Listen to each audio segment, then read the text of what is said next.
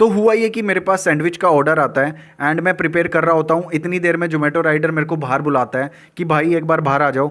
मैं बाहर गया तो मैंने उनसे पूछा कि क्या हुआ? तो उन्होंने कहा कि यार ये ऑर्डर ना कैंसिल होने वाला है, जल्दी से आप प्रिपेयर कर दो इस ऑर्डर को। मैंने कहा, ऐसे कैसे कैंसिल हो जाएगा? बोला हंड्रेड परसेंट ये कैंसिल होने वाला है, क्योंकि कस्टमर का नाम देखो आप। और जैसे ही मैंने कस्टमर का नाम देखा ना, मेरी हँसी छूट गई, क्योंकि कस्टमर का नाम था ये। महेश!